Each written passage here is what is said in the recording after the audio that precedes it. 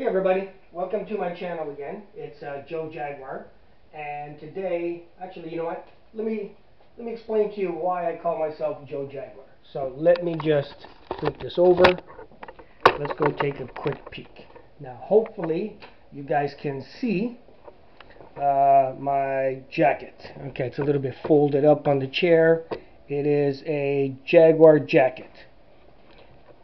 Okay, you see my license plate? That's kind of neat. Joe Jaguar license plate. No one can have that but me. And on a Jaguar. So that's pretty neat. And in my younger days, um, I was in a, a, a band um, called Raw Faith, and I'm one of those guys. Okay, let's put this back. Let's get back to the video. So, let me see if that's uh, that way.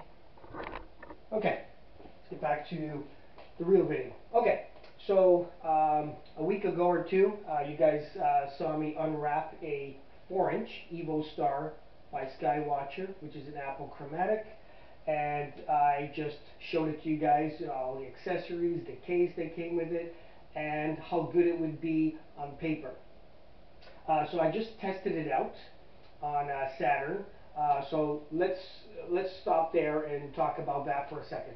Okay, so this year is probably one of the worst years for Jupiter and Saturn because uh, they are really, really low in the sky. So being uh, the lower they are in the sky, the more atmosphere you have to look through, so the worse the image will be.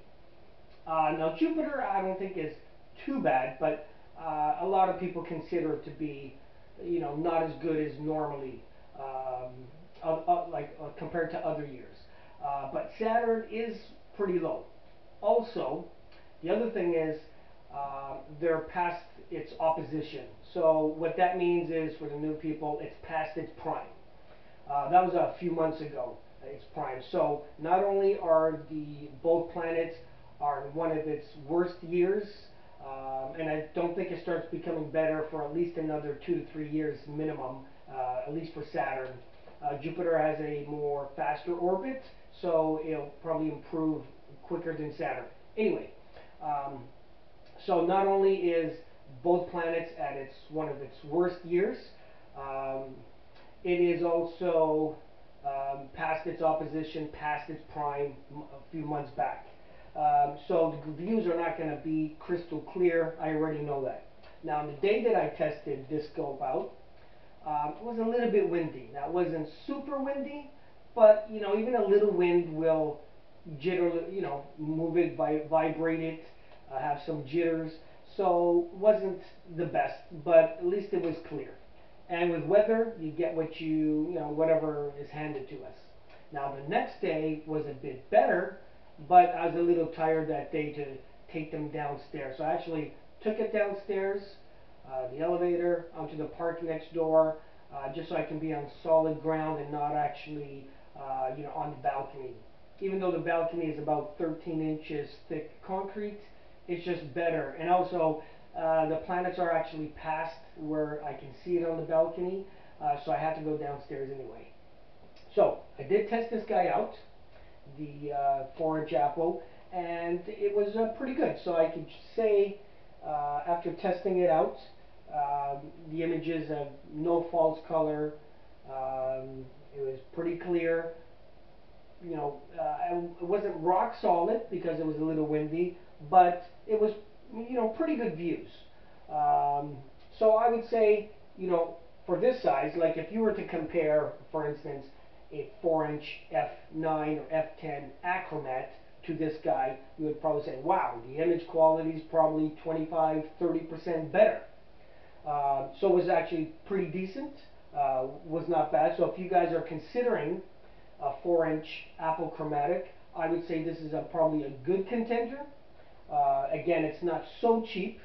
Uh, an Achromat this size probably uh, retail new probably with, uh, around four to five hundred dollars depending what accessories and, and stuff come with it. Uh, this guy is twelve forty nine before tax, about thirty uh, sorry about fourteen hundred with tax. So not cheap, but uh, pretty good. Now the only downfall I, I have, since I made that intro uh, to this guy opening it up. It had a dual speed Crayford focuser with a 10 to 1 reduction and it actually um, doesn't work anymore. I actually bumped it uh, one day coming in from the balcony, the door just slammed on it um, and I couldn't get it to, it wouldn't um, go back and forth or it wouldn't retract in and out uh, uh, as good unless it was on a flat surface. But as soon as I pointed it zenith or north, you know what I mean, upwards, it would just slip right down. So I did call uh, the dealer that I got it from. He was saying, you know, there is like eight or nine hex screws on the bottom of the focuser. Uh, maybe something came loose, maybe whatever. I tried to fool around with it. Um, he suggests I can send it back to him. Maybe they can fix it. So I don't know if it's fixable. You know, it's kind of disappointing, something that brand new, uh, a bump. Uh, it wasn't a, a, tiny bump, but it wasn't a huge bump either. So a medium bump will screw up a, a focuser on something brand new. So I guess that's what you get, you know. What can I tell you? I know it was my fault, but, you know, these things should last a decent amount, you know, the normal wear and tear. But besides that, the scope held pretty well, uh, pretty good image quality. Uh, uh, I'm going to end the video there because I just wanted to let you know it's pretty good except for the focuser. Maybe they should make it a little bit more robust and uh, better quality um, in, in, this price range, you know what I mean? Um, but again, it was my fault. Um, but, uh, you know, it should stand up for a, li a, little bit more wear. Anyway, I did also, my next video is going to be about, I actually did then, same night, uh, take my Takahashi 4 inch, so it's the same size of this. Uh, it's an F8, this one's F9, so they're almost identical, and I actually did a rundown side by side. I don't want to get into that, that here, because it's just about what, the, how did this perform. Uh, and that's what this video is about. My next one, uh, I'll try to get out uh, side-by-side -side comparison. I actually already did that. I want to tell you guys what happened uh, on, on, my next video. Now, in closing, just want to let you guys know, uh, my videos, I do zero editing. I do zero rehearsing. I, I don't do any of that. I just kind of wing it. I know some people have polished videos. You know, they spend hours editing it. Uh, they probably take three, four, six, eight, ten takes on it. Uh, maybe they have to Google certain uh, things before they upload it because they don't want to say something wrong. I do zero of that. You're getting a raw video, no editing, no rehearsals.